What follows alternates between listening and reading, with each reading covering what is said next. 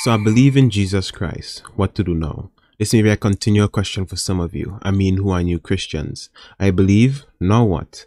The point of this episode is to answer that question. This is for new believers, mature believers, but I also have a main target. Those who profess to believe are not really. Don't take that in a judgmental way, but in a caring way. Please take it in a caring way. This is episode 6 of the podcast called Glorifying God. This episode is titled New Life in Christ.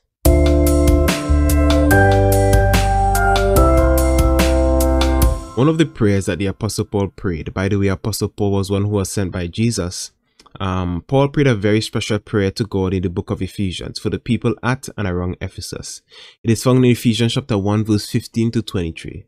I'm not focusing on all his requests to God, but I'm focusing on one of them. All of them are important, but this episode I'm focusing on this one. He said this. This is this is um in verse 19 of chapter 1 of Ephesians. He prayed that God may grant them to know what is the immeasurable greatness of his power towards us who believe, according to the working of his great might that he worked in Christ when he raised him from the dead and seated him at his right hand in the heavenly places. Paul was praying to God for the people he's writing to, that they may know the power of God in the gospel, that they may know that those who are believing in Christ, God has done a powerful work in them. And guess what he said? He said that this powerful work is according to his great might when God raised Christ from the dead. Do you know this power? For those who believe in Christ, God has done a powerful, matter of fact, a supernatural work in you. He has made you new. Is this evidence in your life? Now, the point of this episode is not say go make this evidence in your life. The point of this episode is I'm saying when you believe in Christ, it is not a normal thing. Like, for example, I believe that Christopher Columbus existed. Like, okay, I mean, that is true. He, he did exist, but that does nothing to me if I believe. But the Bible is saying that those who believe in Christ, not merely that he existed, but those who believe that he died for their sins, buried, rose again on the third day, those who believe the gospel, God has done a supernatural work in them. Again, his, he says this this power that worked in every believer is according to the great might when God raised Christ from the dead. Listen to this verse.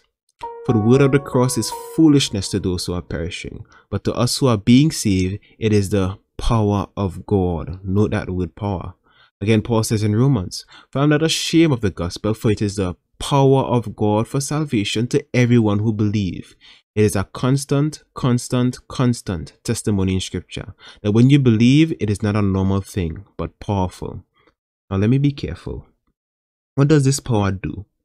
This power, some has labeled it as moving and shaking, which is not the case. But this power raised us from the dead, that is, dead in trespasses and sins. We were totally opposed to God, and God brings forth life in us. We were dead in trespasses and sins, and God made us alive together with Christ. Listen to one of my favorite passages in scripture. This is after Paul said that he prayed for them to know the power that works in them who believe. Paul actually goes on to explain this power a few verses down of chapter 1, which is chapter 2.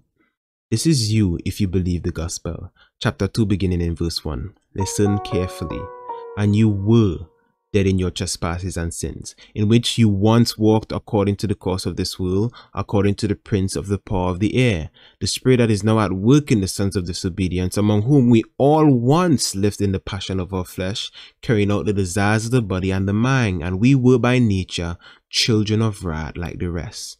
But God, being rich in mercy because of the great love with which he loved us, even when we were dead in our trespasses, made us alive together with Christ. By grace you have been saved, and raised us up with him and seated us with him in the heavenly places in Christ, so that in the ages to come, or the coming ages, he might show the immeasurable riches of his grace in kindness towards us in Christ Jesus.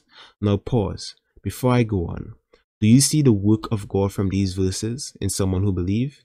You may not see it yet, but I'll, I'll explain. He's saying, you used to do this and you used to do that. You were dead, following the patterns of this evil world, following the prince of the power of the air, which is the devil, and you loved fulfilling the desires of the flesh and mind. And because of this, you were by nature a child of wrath. We see three things that influence you and sway you before you came to Christ. That is the world, the devil, and the flesh which lust you want to fulfill. These three sway every unbeliever, and this is why Paul calls it dead in trespasses and sins. We used to love the things of the world, love the things of the devil, and love fulfilling the desires of the flesh and mind, and by nature, children of wrath. But then we see in verse 4, but God. Listen to that.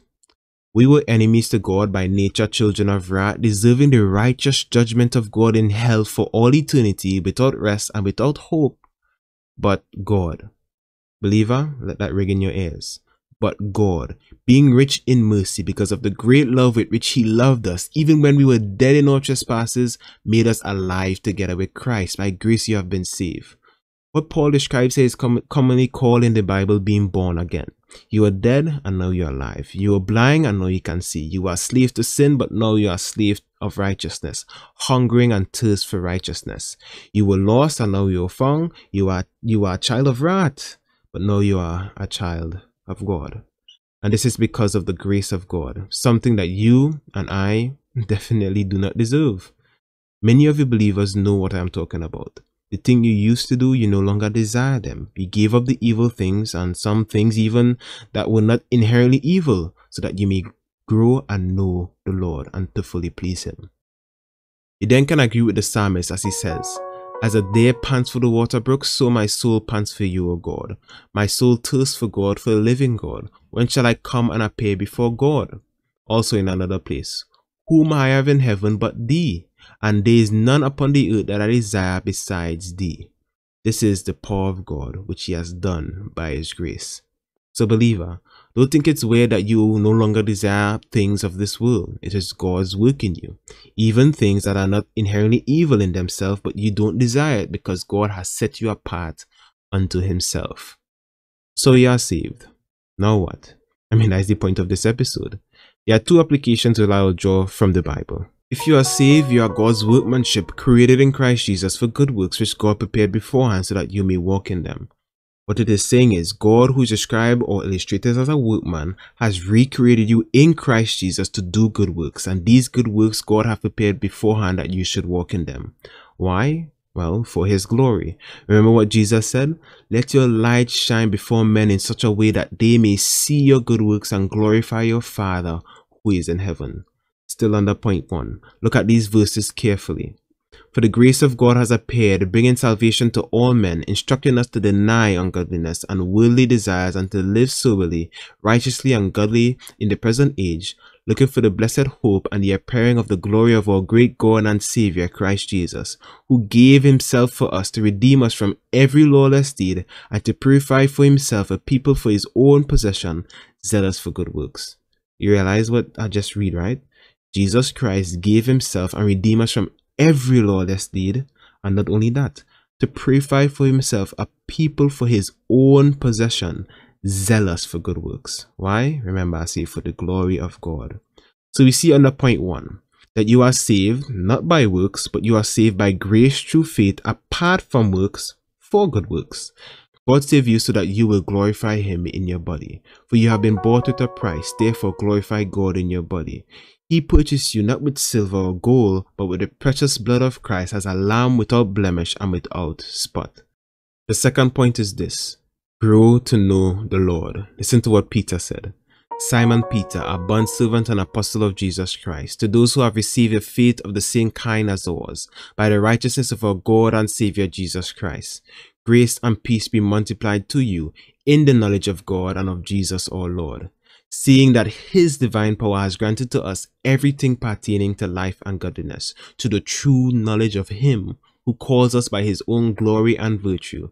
For by these he has granted to us his precious and magnificent promises, so that by them you have become partakers of the divine nature, having escaped the corruption that is in the world by lust. Then Peter will also say at the end of his letter to grow in the grace and the knowledge of the Lord Jesus Christ. Hosea in the Old Testament would say to press on to know the Lord. You have been saved to know the Lord, not to know about Him, but to know Him. This is why Jesus came. Listen to John. And we know that the Son of God has come and has given us an understanding so that we may know Him who is true. And we are in Him who is true, in His Son, Jesus Christ. This is the true God and eternal life. So if you are saved, grow to know the Lord and glorify Him by walking in the good works He has prepared beforehand that you should walk in them. But many of you may be listening to my voice right now and you have no idea what I'm talking about.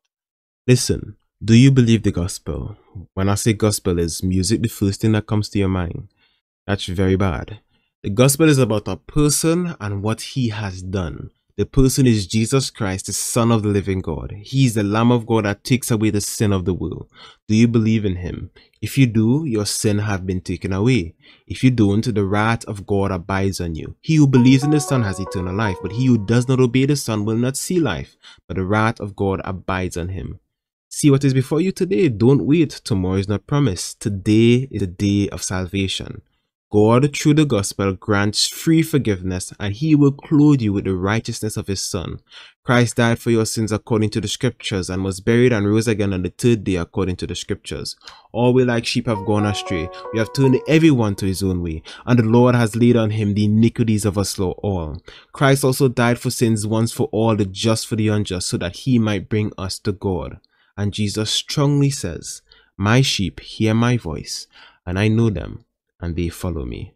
Have repentance towards God and faith towards the Lord Jesus Christ. Whoever believes in him will be granted eternal life. As you commonly hear preachers say, it is the life of God in the soul of man.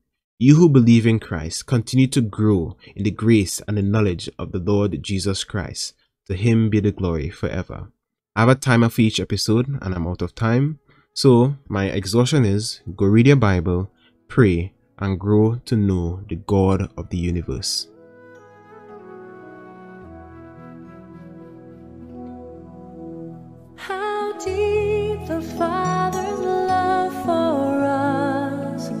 How